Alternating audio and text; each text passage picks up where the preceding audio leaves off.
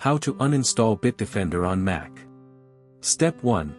Click the Finder icon in the dock, then go to Applications. Step 2. If the Finder icon is not on the dock click any empty space on the desktop click Go in the menu bar and select Applications. Step 3. In the Applications window locate and open Bitdefender. Step 4. Then double-click Bitdefender Uninstaller. Step 5.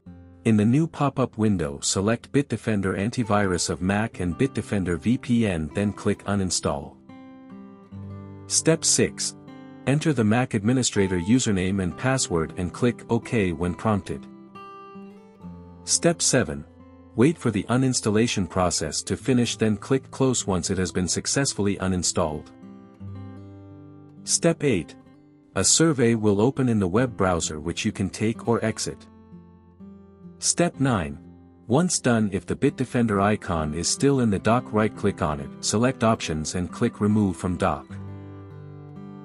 For more such help and information, visit us at www.antivirustales.com or call us at plus 1 857 557 6826 plus 44 161 791 4591